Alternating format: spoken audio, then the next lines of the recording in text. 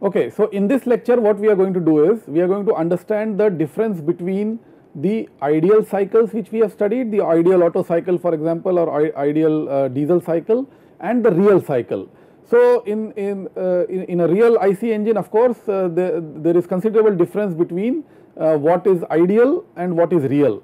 So let us try to understand the ideal and the real uh, cycles and the differences between the two. So, uh, coming back to the uh, to this diagram again we have seen this diagram several times now. Uh, let us quickly understand the operation again the 4 strokes. Uh, we are taking the example of an ideal Otto cycle. So, this is an ideal Otto cycle which we have already studied in the last lectures okay and uh, uh, these are the 4 let us say processes the, the isentropic compression process, the heat addition process, the expansion process from 3 to 4 uh, and then again the heat rejection process here uh, from 4 to 1. Now the first difference between this point, uh, this cycle and the cycle at the top which you see uh, is, is a sort of a real cycle which I have tried to uh, uh, depict here. this real cycle as you can clearly see looks considerably different than the ideal cycle here. Okay. Now what is the first difference or the first striking difference between the two?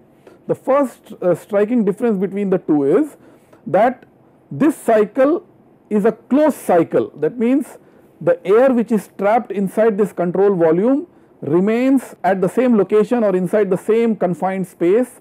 Uh, the confined space of course is changing it's uh, in the compression and the expansion stroke. However, the air does not interact uh, with the atmosphere it only interacts with the atmosphere through the work done through the piston here and the heat uh, exchange processes Q in and Q out uh, which takes place here. So this air remains the same that means the working fluid remains the same we just do the interactions of work and uh, work and Q uh, heat uh, and of course the internal energy of the air keeps changing as the processes are happening. However, in a real system as you know we need to make an intake and we need to do an exhaust that means every time there is a inlet stroke and then there is an exhaust stroke which essentially are quite different than what you see here. That means this is an open cycle that means every time the inlet valve opens and as the inlet valve opens the air fuel mixture comes in. So this is a different composition completely it is an air with mixed with fuel and when the exhaust gases go out it is the burnt gases the burnt gases which are going out of the system. So if you see this control volume here in this control volume actually it is interacting with the environment through exchange of mass also uh, other than uh, exchange of heat. Okay. So you have fresh mass coming in. That mass is compressed. Okay? And during the compression both the valves are closed. This uh, this is compressed. And then there is a spark plug and then the, the power stroke comes in and then the exhaust valve opens and then you push the exhaust out. So the first difference is that you have this little cycle or this little uh, let us say zone here which actually is an add on uh, difference between the, the ideal and the real cycle. So this is responsible for the suction stroke that means the suction actually begins by taking fresh air from inside. Now naturally there is an atmospheric pressure here. So this you have to be you have to be lower than atmosphere. So that means as soon as the valve opens the piston starts going down and this, this volume here the pressure has to be lower than atmosphere so that fresh air can come in. So this is the suction or the intake stroke actually occurs here. There is no intake here, there is absolutely no intake here because of the fact that uh, there is uh, the, the it is an ideal cycle and we already have air trapped inside and we are only working with the same quantity of air uh, by exchanging heat and doing work. So you have then intake and then a compression takes place naturally in the compression stroke uh, you will have some heat losses we are also cooling the engine and the, the compression takes place at certain point the ignition has to occur and as soon as the ignition occurs the volume starts increasing and then uh, the, the, the pressure starts increasing the enthalpy starts coming in and the, all the petrol has burnt. So you can see that it is not really a constant volume process there is a small change in the volume the piston is still the, when the ignition took place the piston was still slightly going in the upward direction and then of course majority of the heat has come more or less at constant volume uh, and then uh, all the heat has gone but the piston has already started moving backwards and then you have the expansion stroke. in the expansion stroke also cannot be adiabatic uh, or an isentropic process, uh, there will be some losses. And then somewhere down the line the exhaust gas will open. Now it, as I as I also told you in the class uh, during our physical interaction that there are finite time for this valve to open and close. So it cannot open completely, it cannot close completely at instantaneously 0 time. So it will take a finite amount of time uh, for the exhaust valve to open and then to close. So it goes from a 0 velocity position, comes down and again so it is accelerated, it comes down and again it, go, it goes back and decelerated and then it stops. So there is a finite time.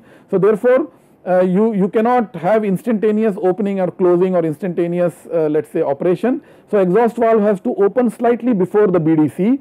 So, as the piston starts going down the, the exhaust valve has actually opened and then the piston will start its upward journey uh, in, in which uh, it will exhaust the gases.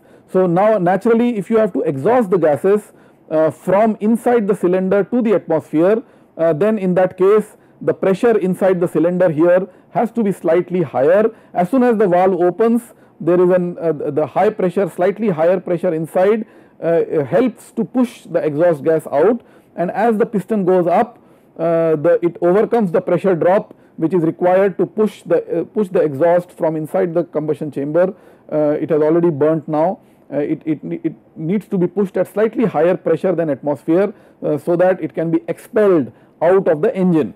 So, you see that there is another another uh, let us say process uh, which occurs here. So, the exhaust the exhaust process uh, and the intake process uh, forms this, this, this loop here and this is an added work done uh, because you need to do work to, to do suction and you need to do work in exhaust. So, this is an added uh, let us say dissipative work which needs to be done and uh, the, the work done here is actually we are not getting this work we have to do this work on the system. So, uh, actually it reduces the net work. So, out of the net work part of the work will actually uh, be, be, be done uh, to do these intake and exhaust processes so that this open cycle can operate in, in a continuous manner. So, you can see the difference between the two uh, and there are several differences in the compression, expansion, heat addition process also uh, because the heat rejection is not instantaneous as you can see here. Uh, in fact, the heat is actually rejected by pushing the mass out. So, the combustion products they have certain amount of heat remaining, the enthalpy is remaining and when the exhaust valve opens you push the piston upwards and in that process you actually take the enthalpy out of the system. So, the Q rejection here uh, cannot occur at constant volume. So, as soon as the exhaust valve opens the, the at, at, this position the pressure is uh, pressure is reasonably higher than the atmosphere as you can see. So, exhaust valve is open. So, suddenly a large amount of exhaust actually goes out taking away the heat. So, part of the heat actually goes at constant volume, but then as as you can see the heat has uh, heat has going started going out the piston is still going uh, downward it is still yet to reach the BDC and after this BDC uh, the remaining the remaining exhaust gases after the initial blowdown has occurred or uh, after the initial push which has occurred when the exhaust valve opened uh, this particular gas will be pushed out by doing work on the system uh, by this piston and the piston will go out and take the heat out or the, uh, in the process take the gases out also. So, you see there are stark differences between an ideal cycle and a real cycle. Okay. So, in this lecture we have seen the major differences and these differences come because of several reasons. What are the reasons for the differences? We will take it up in the next lecture.